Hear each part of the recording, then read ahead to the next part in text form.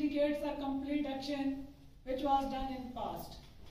I am explaining here that if an activity has been done in the past and that activity is completed, that action is completed at that time, then we call it as a past perfect tense. So you see यार अगर हम उर्दू फिक्रों को देखें तो इसमें आपको चुका था चुकी थी चुके थे कर लिया था पढ़ लिया था उठ गया था ये सारे क्या आपके लिए पास्ट परफेक्ट टेंस को इंडिकेट करते हैं? अब यहाँ पर पहला फ़िक्र लिखा हुआ है, मैं पढ़ चुका था तो आई हैड स्टार्ट और इसी तरह वो खत लिख चुके थे। तो they had written a letter और इसी तरह वो बच्चों को मार चुकी थी। She had beaten the children अगर आप इन सेंटेंसेस के स्ट्रक्चर के ऊपर जरा गौर करें तो आप देखेंगे कि आपको जो है वो सब्जेक्ट के बाद हेड है और फिर वर्ब की थर्ड फॉर्म है इसी तरह यहाँ पर जो सब्जेक्ट है, वो सब्जेक्ट आपका कोई नाम हो सकता है, कोई प्रोनाउन हो सकता है। तो इसी तरह आपके पास she had beaten the children इसमें सबसे पहले सब्जेक्ट है, उसके बाद हेड है और थर्ड फॉर्म पर आप लोगों ने ऑब्जेक्ट लगा दिया। अगर आप इस सेंटेंस के स्ट्रक्चर की बात करें तो क्लियरली नज़र आ रहा है पिछले सेंटेंसेस से। सबसे पहले हम सब्जेक्ट लगाते हैं, उसके बाद हेड लगा के वर्ब की थर्ड फॉर्म और फिर हम ऑब्जेक्ट लगाते हैं।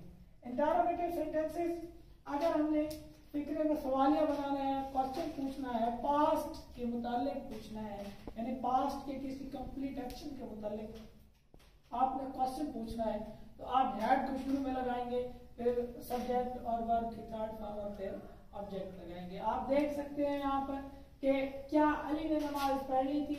Had Ali offered the prayer और अगर ए, इन फिक्रों को आप इन सेंटेंसेस को इंटरोगेटिव में चेंज करें तो आई हैड टॉट और इसको हैड को शुरू में ले आए तो हैड आई टॉट और इसी तरह क्या मैं पढ़ा चुका था? वो खत लिख लिख चुके थे। क्या वो खत लिख चुके थे?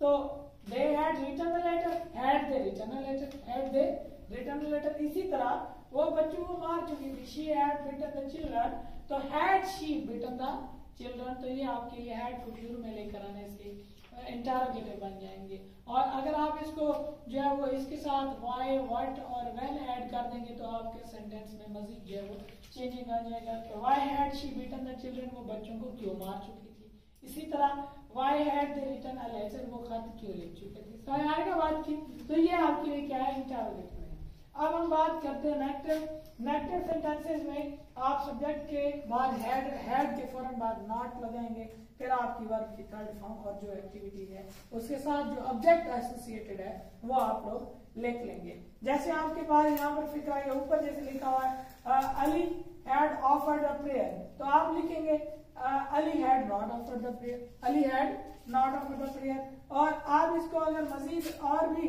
यानी सवालिया भी हो और नेगेटिव भी हो, यानी इंटरोगेटिव भी हो नेगेटिव भी हो had Ali not offered the prayer क्या अली ने नमाज़ नहीं पढ़ी थी? या क्या अली नमाज़ नहीं पढ़ चुका था? तो ये आपके लिए क्या होगा? पास परफेक्ट इस तरह से चलेगा। इसी सेंटेंस को बना ले कि they had written a letter तो they had not written a letter इसी तरह she had beaten the children तो she had not beaten the children इसी तरह I had taught I had not taught ठीक है? Why had I not taught मैंने क्यों नहीं पढ़ाया था? क्यों नहीं पढ़ा चुका था? तो ये आपके लिए पास्ट परफेक्ट के टेंसेस हैं।